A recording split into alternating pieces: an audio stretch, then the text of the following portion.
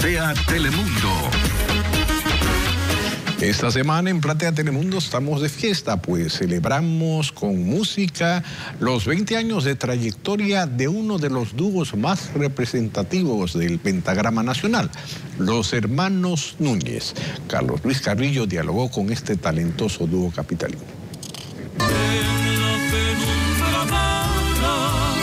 Con el lanzamiento de una nueva canción, los hermanos Núñez celebran su aniversario número 20.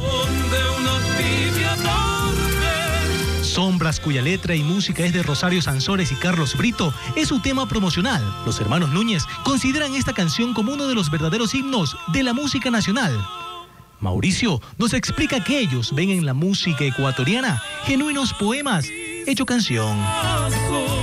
¿Por qué sombras? Porque ese es el, quizá el tema más cantado por todos los, artistas internacionales y nacionales. Entonces ahí el reto de que nosotros tengamos que hacer una versión que también sea importante y sea tomada en cuenta entre todas las interpretaciones que ha habido, que sea esta eh, tal vez la que un poco más pueda llegar allá a donde nosotros quisiéramos.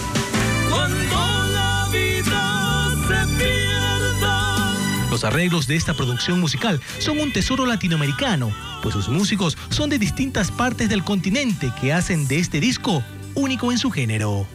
Es netamente una, una tónica importante la que se le ha querido dar a este, a este disco, no dejando de lado la raíz eh, de, nuestra, de nuestra música ecuatoriana. Arcilla cocida y dura, alma de verdes este es el octavo álbum que publican y fue grabado en Bogotá bajo la dirección de Polo Álvarez, arreglista de varios artistas internacionales.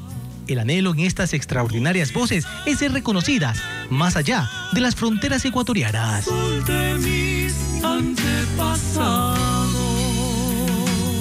Estos cambios importantes que le hemos brindado a la música nacional, pensamos que, y estamos seguros, de que eh, nos proyectaremos a nivel internacional, que es lo que queremos e intentamos, y lo vamos a lograr. Es decir, eh, queremos realizar música ecuatoriana de exportación.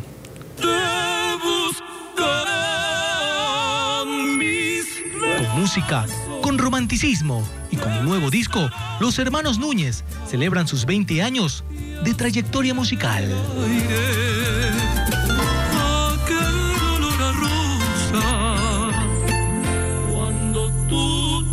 Dios libre.